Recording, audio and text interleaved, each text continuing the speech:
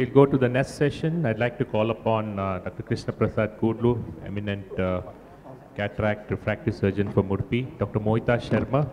We are trying to get people who are involved in three basic platforms of uh, presbyopia laser surgery.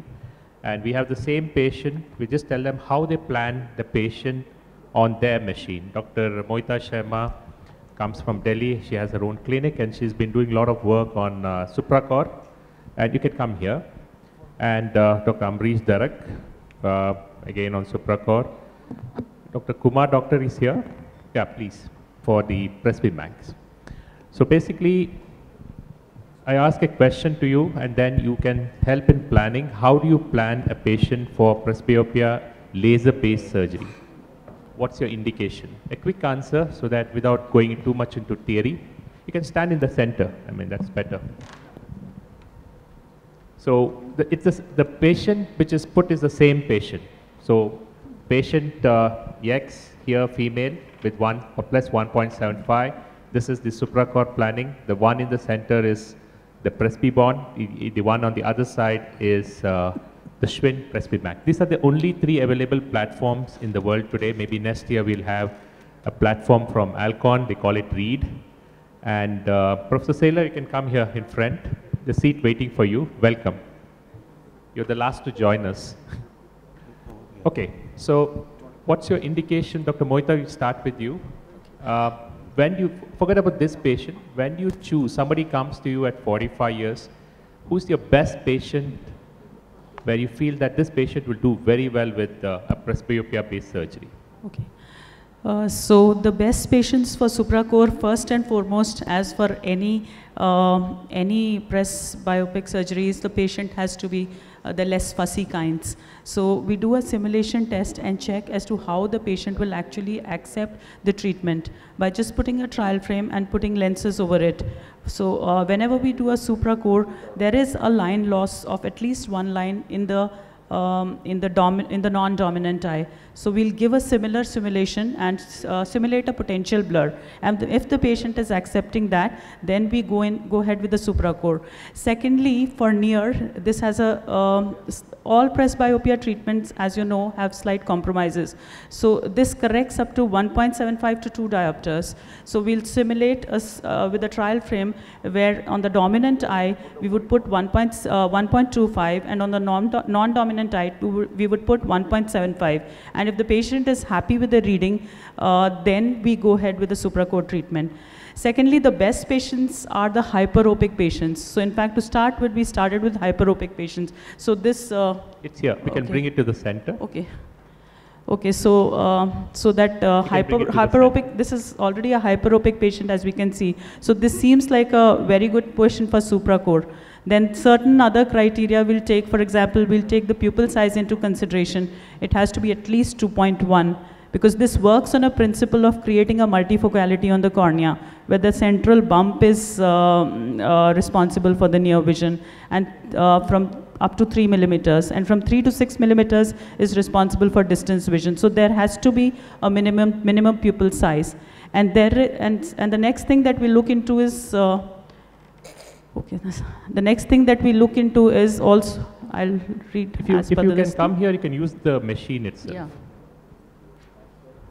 You can sit there and go to the machine and choose that what would be you better. want.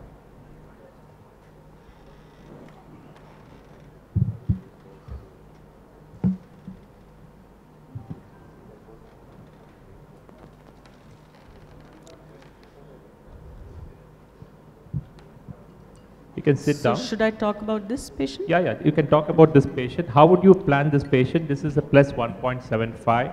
She's a 45 year old. Okay. So this is the right eye. Uh, we'll have to check the which as to which eye is dominant. I'm assuming this, that this right eye is the uh, is dominant. the distant dominant eye. And uh, so in this, since this is the distant dominant eye, we will plan what is called the soft. yeah. There are two types of Supracors. One is a regular or a regular Supracor and the second is the mild or the soft Supracor. In regular Supracor, we correct up to 1.75 and in soft, we correct up to 1.25. So this, this, is, this is the distant dominant eye, we'll be planning a mild Supracor. That and means uh, the patient will end up with a 0.5 of myopia in that eye.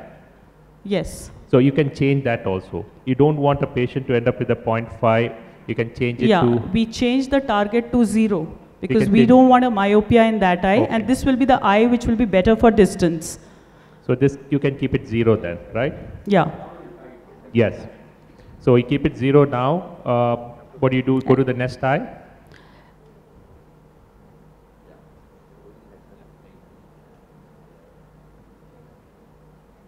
Left eye. Yeah. And now you go so to left the. eye is again a hypermetrovision. Yes. Yeah. So left eye is again a hypermetropic eye, and this is the non-dominant eye. So we will make it better for near vision. So uh, uh, here uh, we are doing a regular Supracor, which will correct up to 1.75 to 2. So this is a better eye for near vision, and the target that we have kept is minus 0.5. In fact, um, initially when we started, we were keeping a target of minus 0.75 because we wanted it to be even better for near. But then we found that there was a light, uh, there was a line loss of up to two lines in quite a few patients. So we changed the target to minus 0.25. And we found that the line loss is only one line. We expect a line loss of one line uh, in, in this, uh, uh, in this non-dominant eye. So that's the target that we are keeping. So why, if, a, if you keep a patient a myopia of only 0.25, do you think that patient will be able to give Yes, you? uh, so currently we have changed our parameters to this. We are keeping the target as only minus 0.25 and it's the Supracor which is working. We are getting a N6 vision. With 0.75 the line loss was more, so we actually changed it to 0.25. Just ask uh, Dr. Darak Dr. here. Darak. He also does a lot of work on this. Do you have any difference in how you do it here? Yeah, two things I would differ basically. Uh, one thing is I'm seeing that patient is around 44, 45. So I would definitely ask that patient for his or her profession, one thing. And uh, while doing Supracor in this patient, probably right eye, I would like to keep a error of minus 0.5 there and offer a mild correction. If the patient is a computer profession, would you differ, would you change the, the Then reading? probably, yes, in that case, probably in right eye, I will do a mild Supracor treatment with a target of minus 0.5 in uh, dominant eye. And non-dominant eye, I would keep a target of minus 0.75 and do a regular treatment in that. Basically, you, you adjust it according to the profession. And uh, Exactly. In the principle of this, I'm coming to the uh, Presbyond uh, with uh, Dr. Kudlu and Sri Ganesh. I'll ask them. But do you think there is also induction of uh, spherical aberration along with, or is just induction of just pure myopia here? Yes, actually we had studied uh, uh, as to what the change in aberrations is because here we are creating a multifocality on the cornea. So we are expecting a change in aberrations. When we studied these change in aberrations, we found that at one month there was a significant increase in uh, vertical coma, vertical trefoil, as well as spherical aberrations. But by three months, we found that these became stable. And in fact, there was an increase in spherical aberration which remained, which actually helped, which is what Dr. Kudlu works on.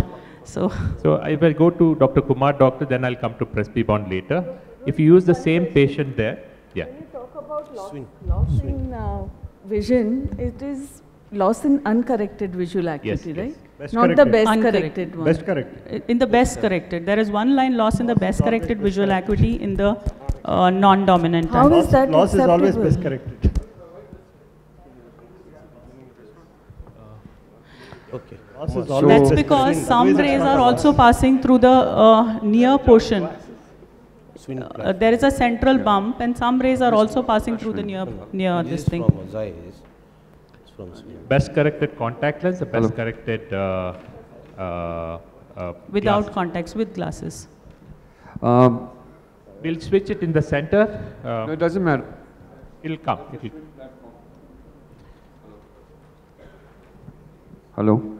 Yeah, so. this is the uh, same patient, Dr. Kumar. Yeah. Same patient, same refractive error.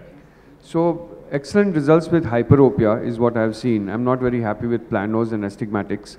So, this will do very, very well. Uh, you can see on the top, if you go, there is distance and near dominant and dis, uh, distant dominant eye you can check. Yes, so you know that. And then you go to the biaspheric profile, you have micromonovision, you have hybrid and monoocular, and presbyopia reversal. So if you can, actually it's a hyperopic patient, both right and left. What we have to select is, yes, you already selected the Dr. hy- Kumar, if you just, just briefly tell what these three things are, because here we know regular means you go full correction, Yes. mild means you go partial correction. So if you tell what is micro monovision, hybrid and monocular. So uh, in this in hyperopia we'll correct uh, with hybrid. So basically it corrects distance and near both. But the important fact is that there is a loss of distance vision by about a line, and it takes about two to three weeks uh, for the patient to get the distance vision clarity. And near vision is actually immediate. I we did some patients last week, and immediately after one hour. So this is uh, uh, the way Yes, Presbymax actually works. So you can see here in the first chart is about 0.9 and then 0.4 and then 0.0. So this is a basic difference that you see So you, by, by default, use hybrid as your choice. for hyperopia. For hyperopia, Yeah. but you said you only do hyperopia, not Yes. Yes. If you go to the next slide, say OK to this, lace, femtoLASIK, click on femtoLASIK. No, no, femtoLASIK. FemtoLASIK above.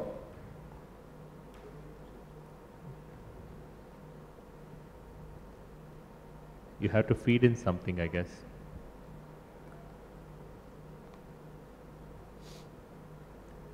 Because I want you to see this. One important thing, then we'll discuss about Presbyond.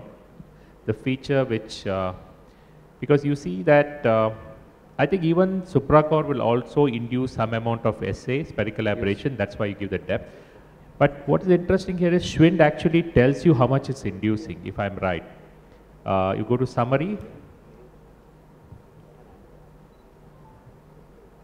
Yes, and see that uh, there is a spherical aberration of around 0.2 diopters for the right Yeah. eye. And just go to the left eye. Right eye is the dominant eye. And for left eye, it's a 0.41. Yes. You can actually, see, if you go back to the, you just click on the monovision. You can, the basically what I'm trying to say is each different type of laser platform uses different level of aberration. If you go to the monovision, go to this again, summary. And you can see that it becomes 0.50 It's higher. diopters of SA. You go back to uh, bias, uh, you go back to something. Uh, there's a third one there, right? Monocular. You'll see a huge amount of SA out here. It will be much higher. So it will be close to uh, One. yeah, 0.13. Point So for the left eye, left eye, this is the right eye. You can see that it's point, uh, 41. 49. So 49. So what happens here is, I'm sure it's doing in uh, Supracor also, exactly the same thing. But one thing about that is it tells you exactly how much it's changing. Now we go to uh, the Presbyond, and I, you can Just one question. It tells you exactly how much you're, it's going to induce. But is there a study which has measured as to how much it actually induces versus how, what is predicted? I don't Predicted so. versus achieved induction of spherical aberration, and you will find that it is not accurate at all. Absolutely. Professor Saylor, do you agree to this? Uh, you use this machine. Do you like this? I'm not using presbyopia correction this way anymore. No, no. I want you to answer this question. What the machine says is inducing. Are we always getting what it says, or it's No, we do not. Clearly not. so? We really don't have to worry about that. Okay, Rohit. Yeah. Now we go to Presbyond. Uh, we bring it in the center. You can come here. Then we'll discuss. Yeah. It's okay, Rohit. We can talk there only. No, no, no. It's everybody can see. Yeah. Now the same patient, Dr. Kudlu and Dr. Sri Ganesh. Yeah, This uh, particular for- 40, patient, 45 years. This particular patient, first of all, when they come to my clinic, I would like to do a cycloplegic refraction. Sir, Because all that is done. Yeah, cycloplegic All that is refraction. done, patient Okay, is acceptance Right eye is dominant. So right eye dominant, uh, I don't want to change any setting in the machine. Normally standard setting, what you can see, there is 1.5 test tolerance. So since the 45 years old patient, I don't want to change any sort of, irrespective of whatever the profession, still I want to go ahead with the 1.5 tolerance test, then go ahead with the treatment. But what I just want to say, uh, if suppose the patient, uh, yesterday you are talk, we all having that uh, talk about, uh, uh, that made me more and more scared after yesterday's discussion that uh, amount of this much of hypermetropia, especially in presbyond, I don't know with the Dr. Ganesh results, mine myopic results are fantastic like uh, 300 patient data out of that 60% myopic and 40% hypermetropic. Probably he, once again I want the setting, these classical settings are same. We are not changing anything in the machine.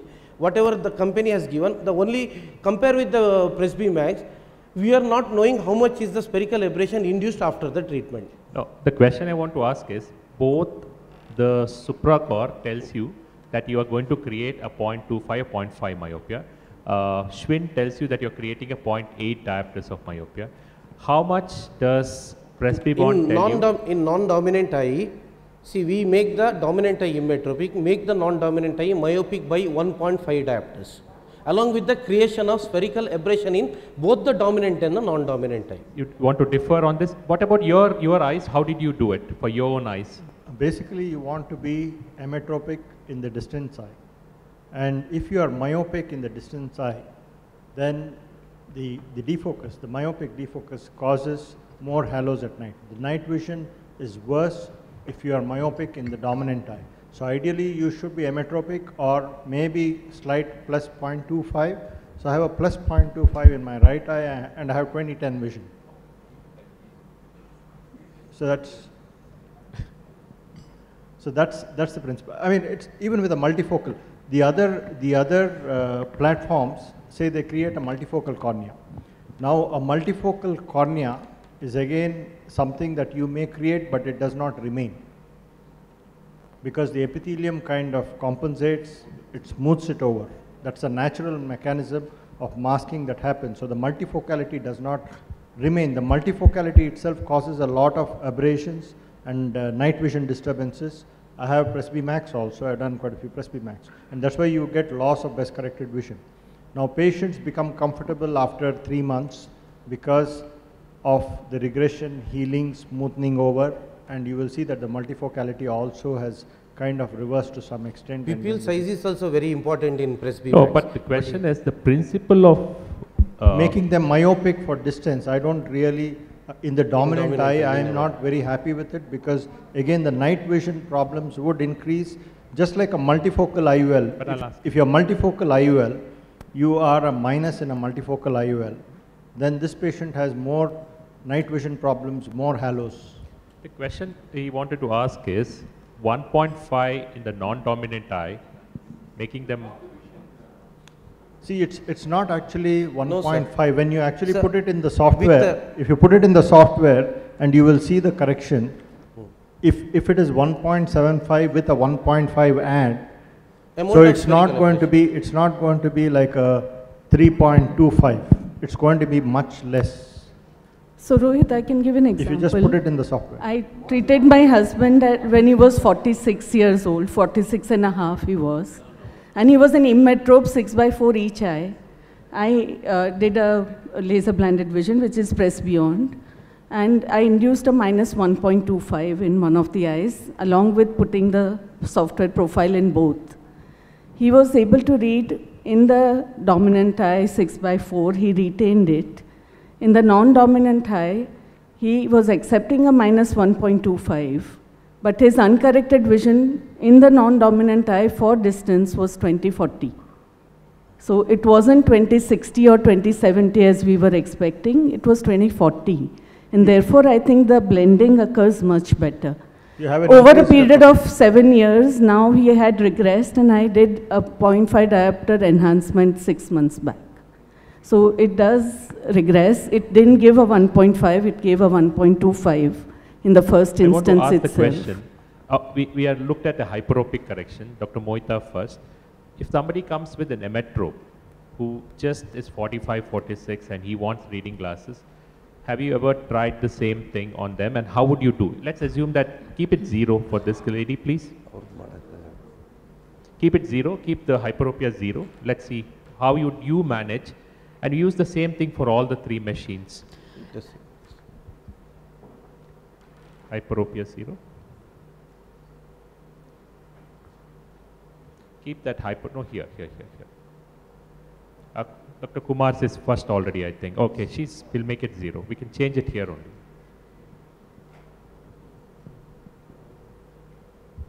Yes, let's assume that she's not at hypermetrope. Okay, for a myopic patient, again. Not uh, myope, I've she's been- just a, a No, metro. patient Yeah. is emmetropic. Oh, both. sorry, uh, for a You can come here. emmetropic, I have, yeah, like this patient, I have been doing uh, Supracor uh, for such patients also. Only uh, the thing is that our uh, target will become absolutely zero in the non-dominant eye because these are the patients So you go in- to the mild who one, will yeah? not accept line loss. For them, uh, uh, so target has to be zero instead of 0.5 or 0.75 or 0.25, whichever we were taking. And so, just to make the planning, the target is zero for the distant dominant. Yeah. And you go to uh, the left eye So- now. So rest is similar, mild Rest in the right eye. So one thing about uh, this is it is rigid. You can't play around with SA.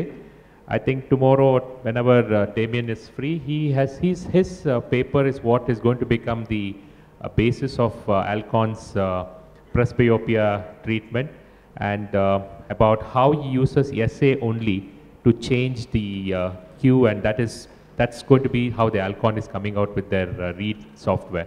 So sir, for you, if this is a metro patient, is there anything you do? How much would you induce for this patient?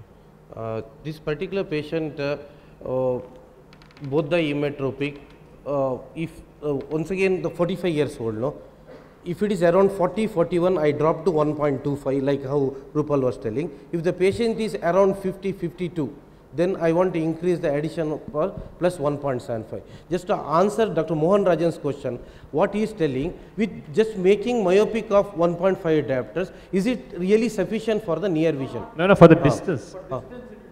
No, no. As Rupal said that because of there is a some amount of spherical aberration in that particular eye, even if you do only monovision, you expect them to have a 660 vision if you drop by 1.5. But because of this induction of spherical aberration in the non-dominant eye, few of my patient even read up to 612 parts, even up to 6.9. You agree to this? I, I have minus 1.75, but uncorrected vision is 6 by 18.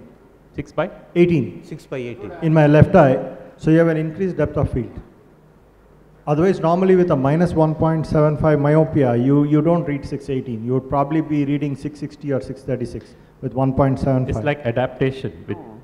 and and my near vision is J1 plus because it's like 1.75 and I have about one and a half diopters, increased depth of field, so it's almost equivalent to 3.25. So I can read up close. So there is definitely an effect, and it is different from just doing a monovision. Ro- And- Rohit, Rohit, I just want to, Rohit, here, here. Uh, yeah. No, my Symfony patients, I do the micro monovision like this, okay? If I make them uh, minus 1.25, 1.5 myopic in the other eye and the vision drops to 618, 620, 624, they're very unhappy. Okay? I, that, that is the reason why I asked that question. So it's basically what the discussion is, it's just not induction of a myopia, not a monovision. These platforms, whether you like it or not, whether you believe it or not, hidden inside is along with that how they induce the amount of essay to give you that depth of uh, focus. For example, of the two softwares, if uh, I click on Kumar's one, it will tell you exactly in both eyes Yeah. how much. For example, let's go to the non, non do, uh, dominant eye, go to the OD, uh, go to SA, same patient. Let's assume it uses the same principle. Say OK. Summary. So, without any correction, the patient is inducing up to, I don't know, I can't see it, 0.2 diop- Point one, point zero one. 0.01 or uh, di- in diopters, how much is it? Zero for distance. This still amount of induction is there. I think it's because of that. And uh, smile Presbyond, when you look at the blend zone, it's about combination of induction of that myopia along with induction of uh, the SA. Am I right? But in software doesn't tell that how much is the induction of spherical aberration. But it tells you on the you other. can calculate if you want, pre-op and post-op. but it tells on But the. the Schwind. Ah, Schwind. these two Schwind. machines tells. And Kumar, sir, you, if you want to do uh, on emmetrope here, how Yes. would you plan of the three things, micro monovision and all that? You have to do monocular, so micromonovision, that's what you have to follow Oh, you- as far so as. you do only one eye. Let's go to monocular. Let's see how much it's going to induce. That's it. 0.87. So you can see that 0.87 is the amount of induction in that eye and it's not touching the other eye. So that's, that's a huge amount of. Non-dominant eye is doing. The non-dominant. Non-dominant. So other question is, have you tried on patients post, I know Dr. Kumar has done, post cataract Yes. IOL and the patient now wants uh, a reading. Yeah. Have you tried this on patient? Yes. So I've done uh, single piece IOLs, foldable IOLs. Uh, as you know, it's I had better results with uh, hyperopic patients, and I did not have very good results with myopic patients. But it is good because they are able to read N8 quite comfortably. So that's what I have found. So pseudophakic patients can undergo presbyopic LASIK quite easily. And of course, you know that you have to keep a gap. But uh, I feel I had done this many years back, almost 10 years back. Over five years, again, there is some change happening. So it doesn't remain as what it is supposed to be. So that's my experience. And that's the reason why the old Presby Max actually disappeared from the market and the new one that has entered into So the market. you can redo it whenever you want. You need to need to touch up. Seven years follow-up, we did the start, to start with the both the pseudophakic Presbyond. They are coming for follow-up. Till today, there is absolutely, there is no change in the power. And second one, what I want to add, some of the patient we have done seven years before, now came, since they have developed the diabetes, they came with cataract now. What to do now? So Yeah. what we did, we had a lot of discussion with, I think even Tarak is also here. For uh, dominant eye, we made emmetropic and non-dominant eye, we made myopic by 1.5 diopter. After doing that, still the whatever the amount of spherical aberration we induced in the both the cornea, it was remaining and patient was very happy even after the cataract surgery. Because they are already uh, already neuroadapted. So yes. it's much easier. I've done about three cases. So you, you make presbyopic them more myopic then? You, you, You, you aim for a myopia of around 1.5 no, you put a more, more myopic IOL. No, no. Yes, you use, you, you use a spherical uh, lens, a regular lens, not a negative aspheric lens like the Tecnis.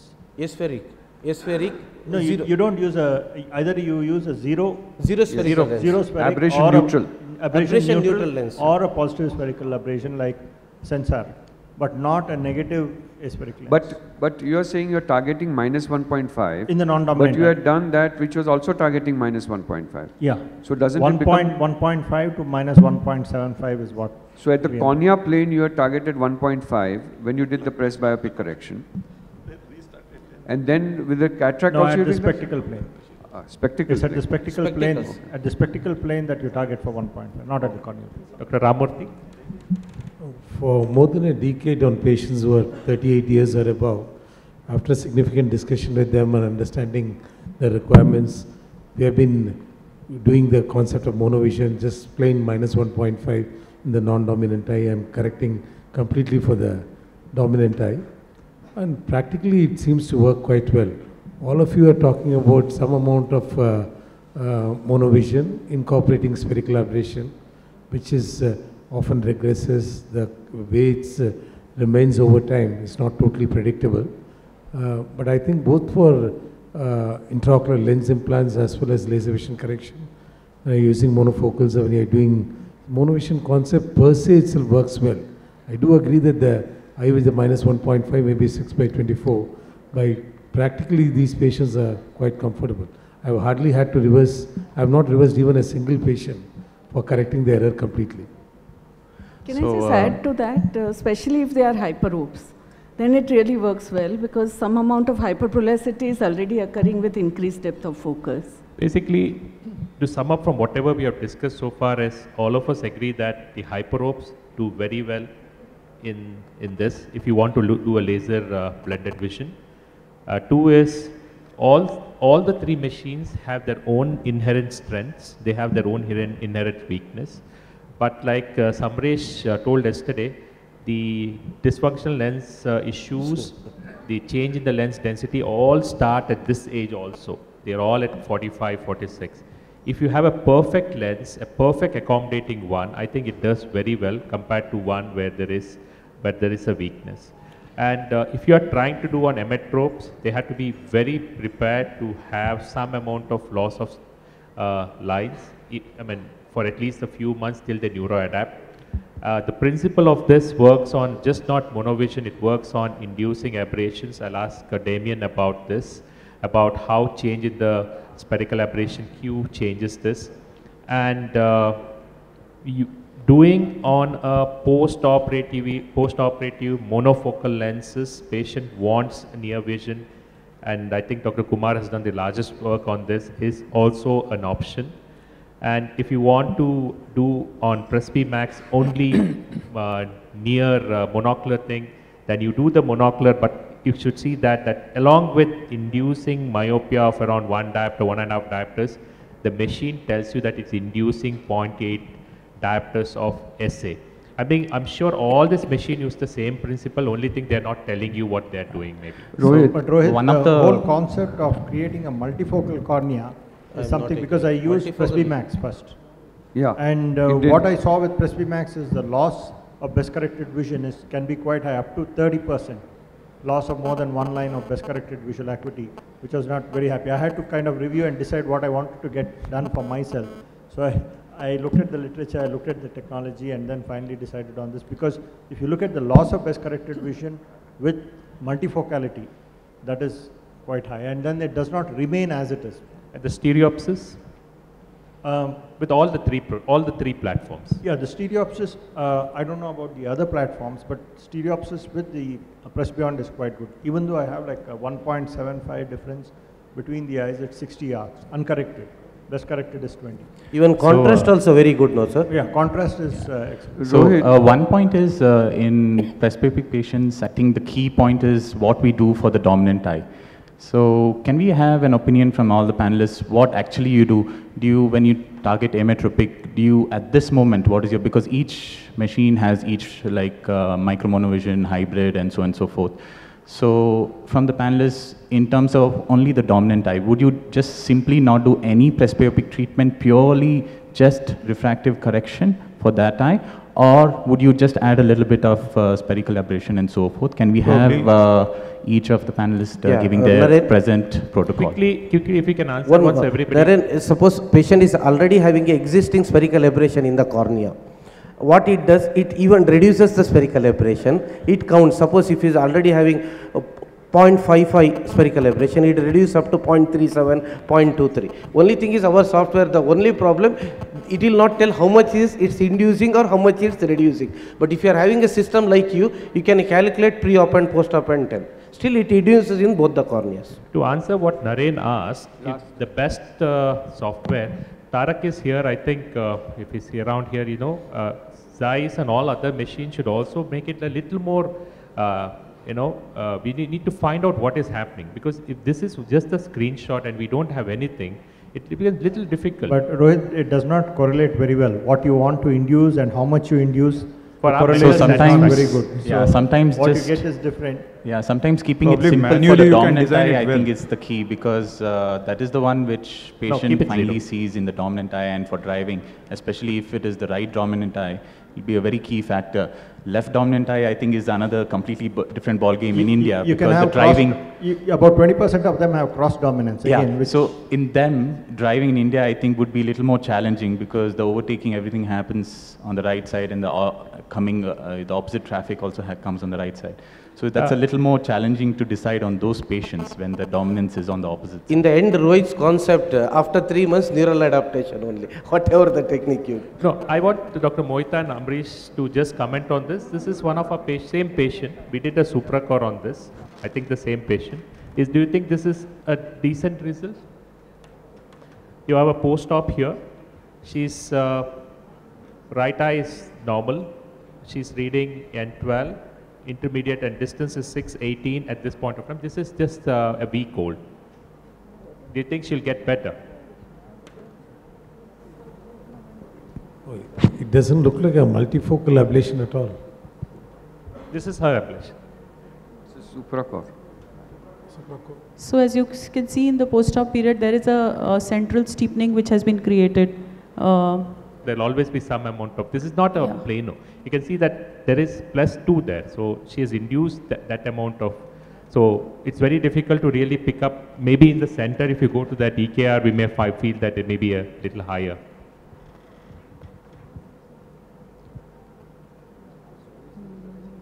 What exactly was the treatment offered? This one, plus 1.5, plus 2.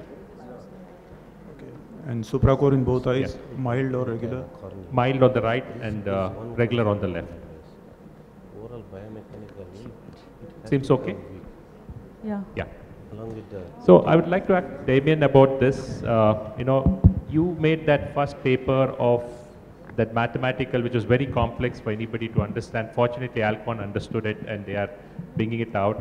That you use, you change the Q, you change the assay, and that's what Alcon is coming out as their model of uh, presbyopia. Just want a quick comment on this before we end this session. Yes, the idea is to. Uh, You can come here.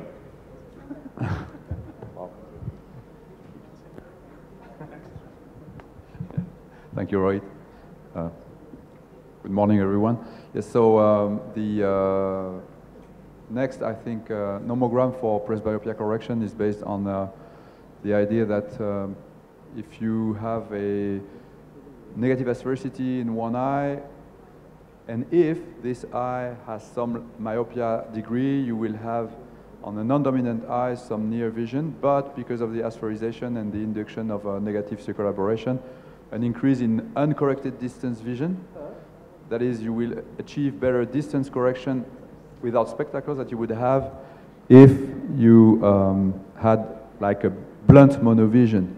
So this is done by selecting a shift in the Q value.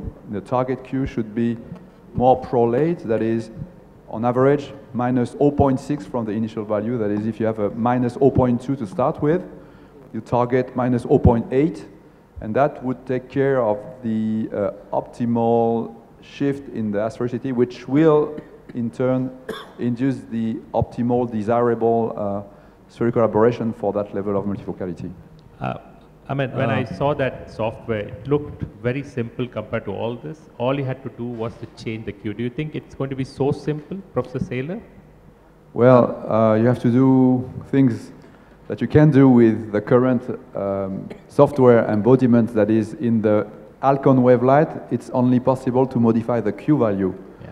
I think initially we were doing this, uh, um, this kind of surgery a bit empirically, but now we know more precisely what would be, for example, the desirable amount of circular aberration. So ideally, lasers should be corrected and enable the correction of a single mode of uh, circular aberration. Instead of modifying the Q, we should say, I would like circular aberration to be this postoperatively. And even beyond that, what we should try to maybe program in the laser would be, I want my patient to be Jaeger 3 and uh, 2030 and do everything you, which is needed. So maybe in the future with like uh, machine learning, we will be able to get like optimal correction without any more input than the desired maybe uh, optical uh, visual co- uh, acuity and the pre-op uh, refraction. Uh, Dr. Professor Damien, uh, he wants um, to. You know, maybe I'm not the best partner for this discussion because also we inaugurated that advanced monovision with a high Q factor or the high spherical aberration. I should tell you that during the last five years, I gave up. The cornea is just not the place to create multifocality because it's actually not very stable. Um, you know, those patients coming in, uh, remember that we have from Houston that study that tells us that every happy patient brings you four new patients, and every unhappy patient uh, inhibits 16 to come in. You know, among those guys where we do presbyopia correction, we have lots, after three years, lots of not satisfied patients. And that was the reason why I gave, uh, I gave up. Because I couldn't produce so many satisfied patients to compensate that mis, uh, that, that misrelation between happy and unhappy patients. In addition, if you go to the literature, tell me one study that shows you a 10-year follow-up in those eyes. I do have 10-year follow-up. and the, and the correction disappears with time. They're coming back every second year, and uh, latest after six to eight years, they are using reading glasses because they are sick and tired to squeeze the eyes all the time. I believe there's a bias here because he, he lives in a German culture country. so, uh, but, no, but seriously, it works well with hyperopes in our experience. Of course, myopes don't like really multifocality, so it's always a case by case. That was the question I wanted to ask, because when you're changing the Q value, you're making it hyperprolate. It's so much easier in hyperopes. But for myopes, if you want to have a hyperprolate cornea, then you have to remove a lot of tissue and it doesn't work very well. Whereas with Presbyond, I mean, the increased depth of field occurs both with positive and negative spherical aberration. So either with positive or negative spherical aberration, you have an increased depth of field. But you have a more, you have more increased depth of field with a negative spherical Negative aberration. spherical aberration. Uh, Dr. Damien, uh, just one question uh, from my side was uh, in, in terms of changing Q in the right in the front. Yeah. So in terms of uh, when you look at the Q value, when we look at Indian eyes being the pupil being very small, and uh, if at all we are planning to do after cataract surgery, which actually changes the pupil size furthermore by about maybe 0.2 or 0.3 uh, millimeters. So how do you think you're going to customize these Q, Q correction in terms of pupil size or How do you customize Q to the pupil size? Uh, currently, we don't do that, but what, what we've noticed in some studies is that when the patient have larger pupil in mesopic condition, they tend to have a better uncorrected distant visual acuity on the non-dominant eye, which suggests that this is in fact effective. When they have small pupils, usually they have a better depth of field, so also you can maybe expect a better uh, range. So how would, how would you Q. refine your treatment in the, while you're doing the entry, would you actually enter the pupil size and that takes the data and accordingly Q value is adjusted in terms of treatment or how does it Q- uh, use the change? pupil to adjust the Q value or not? No, we don't do that. But long time ago, with uh, Dimitri Azar from uh, Massa in here, we had worked on customizing multifocal treatments to pupil zones, and we have a patent with Harvard on that. But since then, every company we've been proposing this says, "Oh, it's too complicated. Doctors won't like it. We, we don't want that." So. So I think post cataract definitely is uh, pretty difficult. I think because you're assessing pre-op and post-operative there could be changes. But I think if you do a corneal treatment, I think you'll have a much the pupil size and how it varies would be more uh, post-surgery and pre-op should be kind of similar. So do you feel like in the future you might look at more of a pupil customized uh, Q treatments, or do you think it's not a actually a good option? I mean, No, I think it would be a good option to customize because pupil is the entrance of of the the key- light that key goes in the eye, and Yeah. we know, like in photography or in human vision, there's like an influence of the pupil diameter on the visual performance. That's for sure. Yeah, thank you. Rohit. Probably that Q value thing, I am the best example. You operated me. Yeah, yeah. Uh, we actually did manually that time. So today, even I am six nine and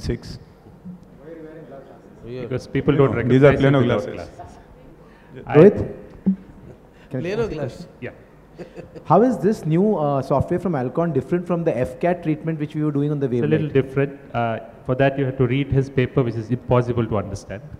So, so you'll have to. He's here, so he'll probably help you with this. It's a beautiful paper, but he, I, he just has a graph which explains everything. I'll share with you. Rohit, just one thing is we all discussed this patient's age as 45. Now let's presume the lens is normal and the patient's age becomes 52 and he's a hyperope plus 2 for distance. Now how many of us will do presbyopic LASIK and how many of us would do a clear lens extraction with a multifocal IOL? Just a thought I want to know statistically. you see- I will do presbyopic laser. How many of in this group have access to any of these three platforms, and how many of you, you do a presbyopic surgery happily? It's a small number. So that means majority of them would still because one of the biggest challenges of this is uh, agreed. One of the one of the things I would like to disagree from what Professor Seiler said is you all the our, our pupils what Naren said are very small. You know we are very forgiving in many ways. So results of what we get here and what we get uh, what is published may be sometimes different. So at the take home point at the end of all this discussion is it does have a role, but the role is definitely more in hypermetropia. But if you want to extend it for a uh, more more bigger role, then the definitely you should probably look at an emmetrope who is very very clear of what he or she is getting. Thank you. Thank you.